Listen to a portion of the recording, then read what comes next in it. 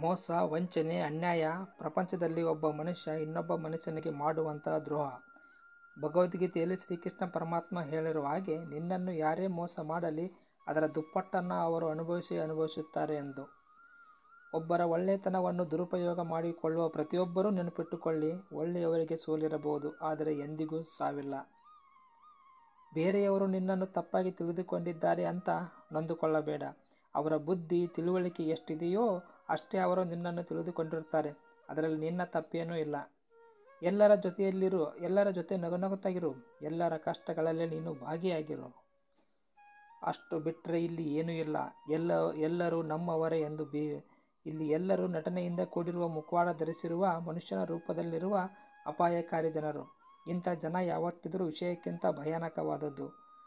ಇಂಥ ಜನರನ್ನು ಯಾವತ್ತೂ ಮರಿಬೇಡ ಅಂತ ಭಗವಾನ್ ಶ್ರೀಕೃಷ್ಣ ಪರಮಾತ್ಮನ ಭಗವದ್ಗೀತೆಯಲ್ಲಿ ಉಲ್ಲೇಖ ಮಾಡಿದ್ದಾರೆ. ಜೀವನದಲ್ಲಿ ಒಬ್ಬ ಮನುಷ್ಯ ಎಲ್ಲದಕ್ಕಿಂತ ಮುಖ್ಯವಾಗಿ ಒಳ್ಳೆ ರೀತಿಯಲ್ಲಿ ನಡೆದುಕೊಳ್ಳಬೇಕಾಗಿರುವ ನಾಲ್ಕು ವಿಚಾರಗಳು ಏನು ಗೊತ್ತಾ? ನಮ್ಮನ್ನು ಪ್ರೀತಿಸೋರನ್ನ ನಾವು ಉಪಯೋಗಿಸಬಾರದು. ನಮ್ಮ ಅಗತ್ಯ ಅವರಿಗಿದೆ ಅಂತ ಗೊತ್ತಾದಾಗ ಓಡಿ ಹೋಗಬಾರದು. ನಮಗೆ ಮೋಸ ಮಾಡಿದರೆ ಮಾಡಲಿ, ಆದರೆ ನಮ್ಮನ್ನು ನಂಬಿದವರನ್ನು ಮೋಸ ಮಾಡಬಾರದು. ನಮಗೆ ಸಹಾಯ ಮಾಡಿದವರನ್ನು ನಾವು ಎಂದಿಗೂ ಮರೆಯಬಾರದು. ಯಾವ ವ್ಯಕ್ತಿ ಸ್ಪಷ್ಟವಾಗಿ, ಸ್ವಚ್ಛವಾಗಿ, ನೇರವಾಗಿ ಮಾತನಾಡುತ್ತಾನೋ ಆತನ ಮಾತುಗಳು ತೀವ್ರವಾಗಿ ಭರಿತವಾಗಿ ಅಥವಾ ನೇರವಾಗಿ ಇರಬಹುದು. ಆದರೆ ಅವನ ಮಾತಿನಲ್ಲಿ ಮೋಸ ಇರುವುದಿಲ್ಲ.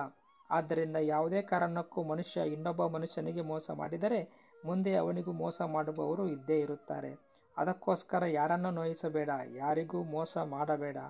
ಈ ಪ್ರಕೃತಿ ನಮಗೆಲ್ಲ ಕೊಟ್ಟಿದೆ. ಒಳ್ಳೆಯ ನಿಸರ್ಗ, ವಾತಾವರಣ, ಶುದ್ಧ ನೀರು, ಗಾಳಿ, ಆಹಾರ ಎಲ್ಲವೂ ಎಲ್ಲರಿಗೂ ಕೊಟ್ಟಿದೆ. ಯಾವತ್ತೂ ಇನ್ನೊಬ್ಬರಿಗೆ ಇನ್ನೊಬ್ಬರಿಗೆ ತುಳಿದು ಬದುಕು ಯೋಚನೆ ಕೂಡ ಮಾಡಬೇಡ. ಯಾಕಂದರೆ ಪರಿವರ್ತನೆ ಜಗದ ನಿಯಮ. ಇಂದು ಅವರಿಗೆ ನೀನು ತುಳಿದರೆ ನಾಳೆ ನಿನ್ನನ್ನು ತುಳಿಯುವವರು ಇದ್ದೇ ಇರುತ್ತಾರೆ. ಕಾಲಾಯ ತಸ್ಮಯ ನಮಃ ಅಂತ.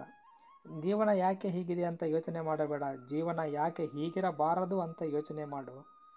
ನೀನು ಅಂದುಕೊಂಡ ಜೀವನ ಖಂಡಿತವಾಗಲು ನಿನ್ನದಾಗುತ್ತೆ. ನಮ್ಮ ಯಶಸ್ಸಿನ ಹಿಂದೆ ಅದೆಷ್ಟು ಜನರ ಸಹಾಯದ ಹೆಜ್ಜೆಗಳಿರುತ್ತೆ. ಅವರೆಲ್ಲರನ್ನು ನೆನಪಿಟ್ಟುಕೊಂಡು ಹೆಜ್ಜೆ ಮುಂದೆ ಹಾಕೋಣ.